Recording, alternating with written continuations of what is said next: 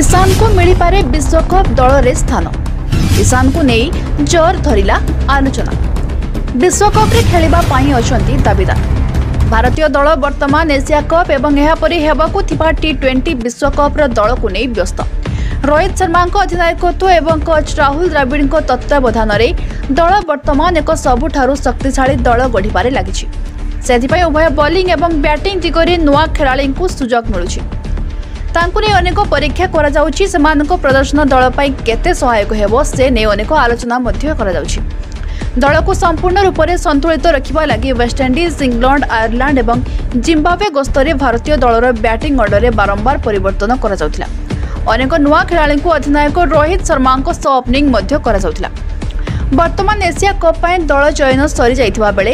KL Rahul ଏଥିରେ ସ୍ଥାନ ପାଇଛନ୍ତି ସେ ଅନେକ ସମୟ ଧରି ଇଞ୍ଜୁରୀ କାରଣରୁ ଦଳଠାରୁ ଦୂରରେ ରହିଥିଲେ ତେବେ ସେ ଏସିଆ କପ୍ରେ ରୋହିତଙ୍କ ସହିତ ଓପନିଂ କରୁଥିବାର ଦେଖିବାକୁ ମିଳିପାରେ କିନ୍ତୁ ଏସିଆ କପ୍ ଦଳରେ ଇଶାନ କିଷାନ ସ୍ଥାନ ପାଇନାହାନ୍ତି ଜିମ୍ବାୱେ ବିପକ୍ଷରେ ଦିନିକିଆ ସିରିଜ୍ ପାଇଁ ଯାଇଥିବା ସ୍କ୍ୱାଡ୍ରେ ତାଙ୍କୁ ସାମିଲ କରାଯାଇଥିଲା ତାଙ୍କ ପୂର୍ବ ପ୍ରଦର୍ଶନ ଭଲ ଥିଲେ ମଧ୍ୟ ଏସିଆ କପ୍ ଦଳରେ ତାଙ୍କୁ ସ୍ଥାନ ମିଳିନଥିଲା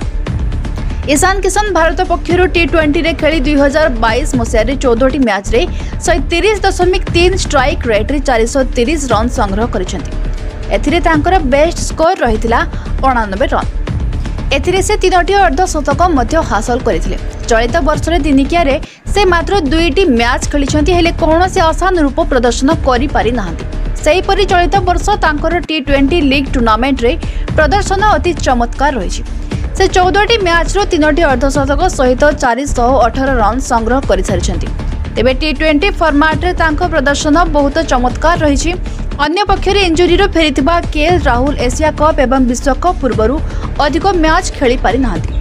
ତେବେ ସେ ନେଇ ବିସିସିଆଇ ଚୟନ କମିଟି ଚିନ୍ତାରେ ଇଶାନଙ୍କ ପ୍ରଦର୍ଶନ ଏବଂ ରାହୁଲଙ୍କ ଇଞ୍ଜୁରି ଓ ତାଙ୍କ ନିରାଶଜନକ ପ୍ରଦର୍ଶନ ଦେଖିଲେ ଲାଗୁଛି ଯେ